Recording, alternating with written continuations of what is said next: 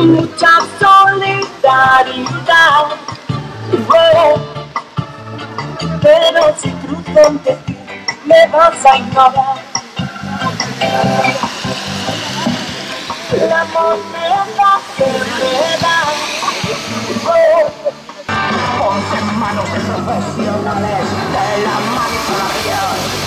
Tendremos lo que te apelas, formaremos tu opinión. Bueno, vamos a proceder a volver a leer el, comunicado. Silencio, silencio, por favor.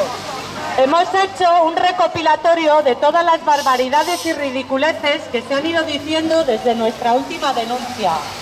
Y nos hemos dado cuenta que no podemos dejarles mucho tiempo solos y solas frente a los medios de comunicación sin darles una respuesta, porque se sienten cómodos sin contestación, se sienten fuertes si no les ponemos la cara colorada. Cuando la asamblea se reunió no sabíamos muy bien dónde hacer nuestra denuncia. En el Ayuntamiento de Santander, para denunciar que no está gestionando las ayudas sociales de emergencia como debiera. Concentrarnos para que nos den respuesta a preguntas como ¿cuánto dinero destinado a la partida de servicios sociales les va a sobrar este año? ¿Cuántas personas han solicitado la ayuda de emergencia social? ¿A cuántas se les ha denegado y por qué? Y mientras, como si fuera un documental yankee, leemos la noticia estrella de que se subcontrata a la multinacional Eulen para que educadores sociales repartan mantas y café a la gente sin recursos. ¿No insulta la inteligencia de cualquiera? En el Ayuntamiento de Torrelavega, porque sabemos muy poco de cómo gestionan los recursos en materia social en el Ayuntamiento de Astillero y Camargo para hacerles ver que destinar 28.000 euros a tres entidades privadas no es ni de lejos volcarse con las ayudas sociales. Concentrarnos en el ICAS, reconocemos que este es nuestro espacio, el más cómodo, pero además de esto siempre sobran motivos como ¿por qué, ¿por qué tardan hasta ocho meses en resolver un expediente de la renta social básica? En muchos casos son personas que ya tienen por desgracia un historial en el ICAS. Solo hace falta activar el expediente, no volver a empezar como ocurre ahora. Nos podemos concentrar para preguntar a la señora Díaz Tezanos por qué se empeñan en hacer mil y un convenios, conciertos o como quiera llamarlo, con organizaciones caritativas para seguir con la estigmatización de las personas. También nos podemos concentrar para volver a preguntarle por qué no pone remedio a que las personas sin recursos económicos no tengan cubiertos los medicamentos.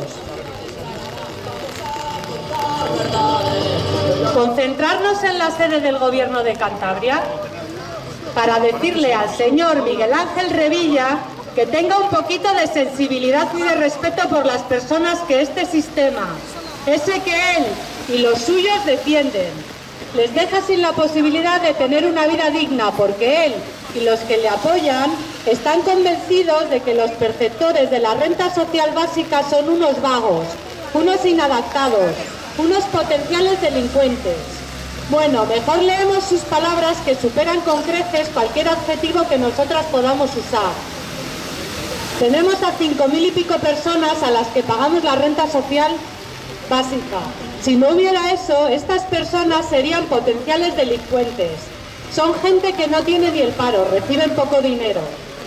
Declaraciones hechas en un foro organizado por la cadena SER en septiembre. Así, de golpe y porrazo, nos está llamando delincuentes. A muchas de nosotras, a mi vecina, a mi primo o a mi hermana, a mi amigo. Señor Revilla, usted no paga la renta social básica.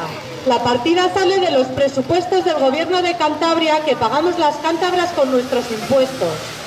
40.000 millones es la deuda que los bancos van a dejar de pagar al Estado español. ¿Delincuentes, señor Revilla? ¿No queda claro quiénes son los delincuentes? ¿Por qué no reclama usted la parte proporcional que les corresponde a las cántabras de esta deuda y con este dinero, el de todas, hacemos que las personas en paro sin ingresos tengan una vida digna? Así que con este panorama decidimos concentrarnos en el Parlamento de Cantabria, porque así, porque aquí están representadas todas estas personas que pueden contestar a estas preguntas. Aquellas que en su día firmaron el artículo 135 sin temblarles la mano y que en cuanto pueden sacan a relucir la Constitución. Eso sí, los artículos que les conviene a ellos. ¿Qué pasa con el reiterado incumplimiento de los artículos 35, 40, 41, 43, etcétera?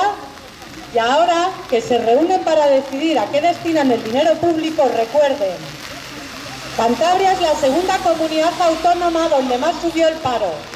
Hay 817 paradas más. Andaribel quiere otro mundo, o mejor dicho, pide encarecidamente a todos estos representantes públicos que se muden de planeta.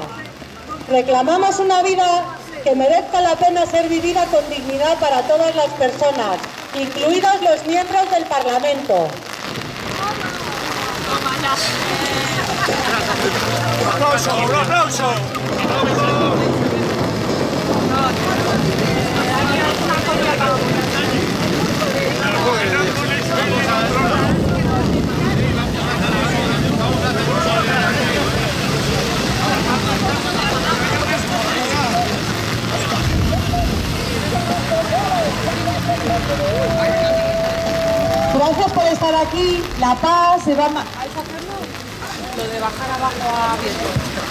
La PA nos ha comunicado que van a bajar a la sede de, de que está el Paseo Pereira, a informar sobre el bono social, la nueva ley que hay sobre el bono social. A las cuatro y media estarán allí. Muchas gracias a todos por estar aquí. Gracias.